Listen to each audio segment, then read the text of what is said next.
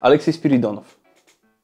Mm, barwna postać. Miałem okazję teraz y, w Katarze się- z nim zmierzyć.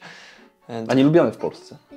Nie lubiany, nie, nie dziwię się, bo też tam podgadywał na meczach, kazał, kazał tam e, w niecenzuralnych słowach y, lecieć już do Warszawy, bo nie, nie jestem potrzebny na boisku. No ale udało mi się z nim wygrać, więc ja w ogóle na niego nie reagowałem. Dla mnie Mieliście spięcie jakieś?